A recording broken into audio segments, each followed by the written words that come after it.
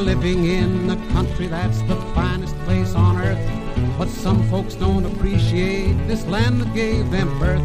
I hear that up in Washington they're having an awful fuss. Cause communists and spies were making monkeys out of us. The bureaus and departments have been busy night and day. They're figuring out just how we gave our secrets all away. And Congress has appointed a committee, so they said, to find out who's American and who's a low-down red. They call them up to Washington to speak for Uncle Sam. But when they ask them what they are, they shut up like a clam. I wish they'd take and put me on the witness stand today.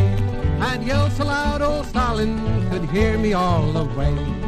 I'm no communist, I'll tell you that right now. I believe a man should own his own house and car and this private ownership.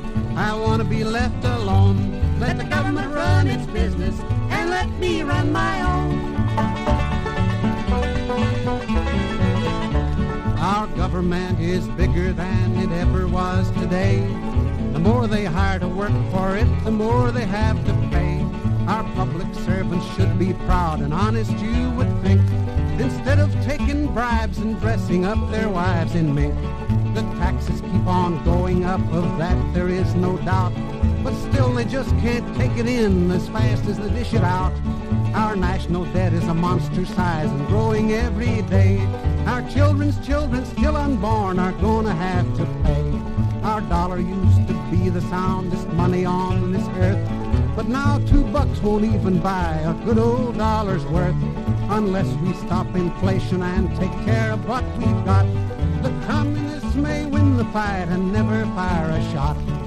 I'm no communist, I'll tell you that right now. I believe a man should own his own house and car and cow. I like this private ownership.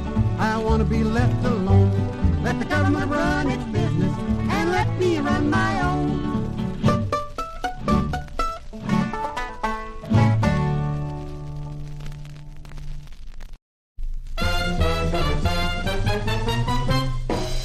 Thank